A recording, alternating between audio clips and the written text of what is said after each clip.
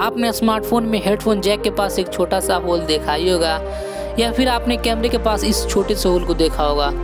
क्या आपको पता है इस होल का क्या काम है? मैं आपको बताता हूँ।